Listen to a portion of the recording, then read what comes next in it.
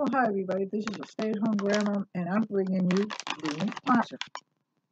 Okay, so I'm not going to open this because I got this to review, but I also got it for a present for somebody. But what it is is it's organic um, butterfly pea powder, PEA powder. Okay, and it makes smoothies and cocktails. It makes blue chai and lattes, baking icing, baking and icing, food coloring, 100% natural, easy to mix, mild taste.